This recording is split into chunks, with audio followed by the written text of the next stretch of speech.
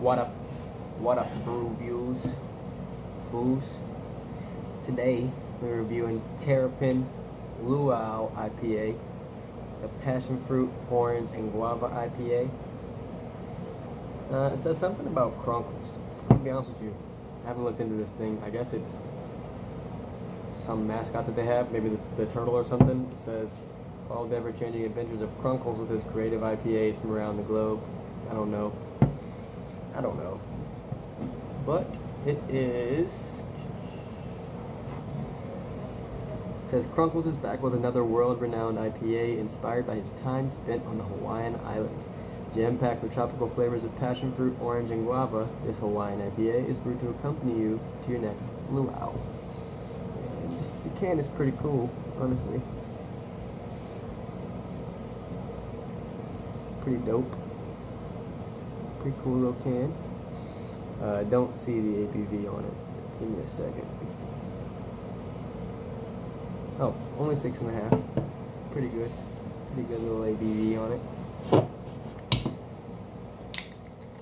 Lacie's in the other room.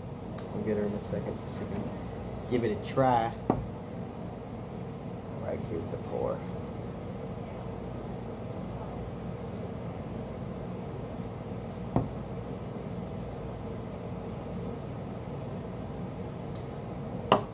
Alright.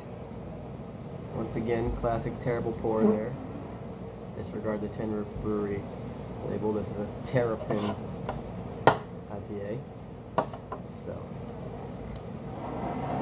Yar she blows, everybody. Quite clear, not hazy at all. I think this has a West Coast. I think that's how they they um, classify like a West Coast. I think a New England IPA is like the classic IPA, just hop forward, generally bitter. I'm pretty sure maybe like crisp. I don't know how you describe those. I think these generally are like the fruitier ones, the West Coast IPAs with the California hops. I don't know. I'm not an expert. I just review beer. All right. Enough jabbering. Let's do this.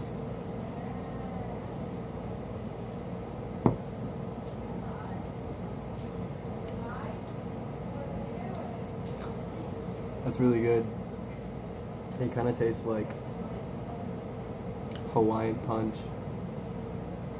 I guess it's the guava.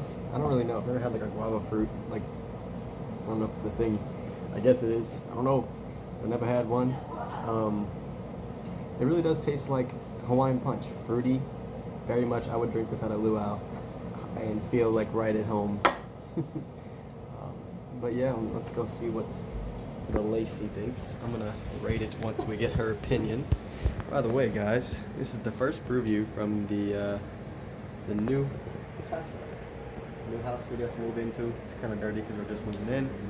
Very small, new house with the uh, no stress zone thing from my mom. All right, here she is, I'm, I was gonna come. the uh, woman of the hour. I was gonna come surprise cameo, but Well, I already told them, so there was no surprises. they look like a boy right now, but it's okay. But she is a girl, can confirm. Doesn't that taste like Hawaiian punch? No. Whatever. She's making me sound like a liar. Like there's an edge on it that's like only found in Hawaiian punch. No.